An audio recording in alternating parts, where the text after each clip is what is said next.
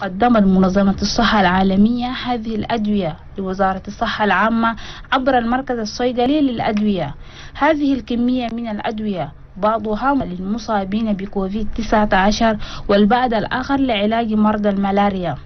مدير المركز الصيدلي للأدوية قدم الشكر لمنظمة الصحة العالمية على تقديم هذا الدعم. أما ممثل منظمة الصحة العالمية جان بوسكو قال إن المنظمة ستقف مع دولة تشاد لمحاربة الأمراض الوبائية وخصوصا ملاريا الذي يشكل خطرا على البلاد. أمين الدولة في الصحة العامة جدي ألي سوغدي قال إن تقديم هذه الأدوية من قبل منظمة الصحة العالمية للقضاء على الملاريا يعد في غاية الأهمية.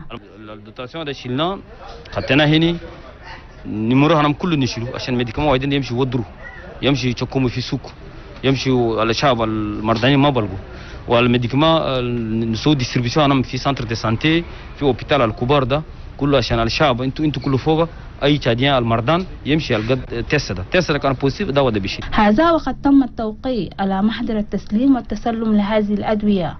وننوه إلى أن القيمة المالية لهذه الأدوية تقدر بأكثر من 219 مليون فرنك سيفا.